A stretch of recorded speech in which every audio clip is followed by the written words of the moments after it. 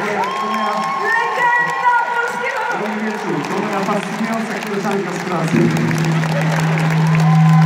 Dziękuję Ci Marku, że przyjąłeś Zaproszenie.